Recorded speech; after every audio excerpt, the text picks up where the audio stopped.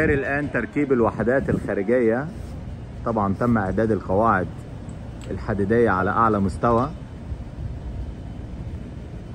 وتركيب الوحدات ال- الخارجية. ده طبعا بيسهل فيما بعد.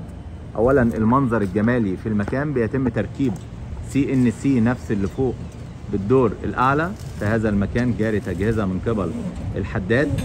وبالتالي تم تركيب المكيفات بيتم تثبيت المكيفات على ال rubber. جيب ال rubber كده يا كبير. على ال rubber بيكون منع اهتزاز بشكل جيد جدا عشان عملية ال vibration فيما بعد.